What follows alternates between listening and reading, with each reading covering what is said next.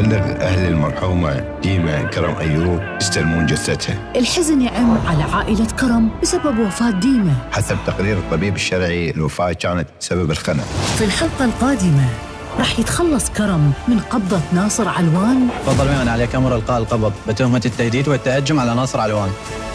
عسل مسموم الليلة الحادية عشرة بتوقيت بغداد على أنبس العراق وشاهد. رمضان يجمعنا.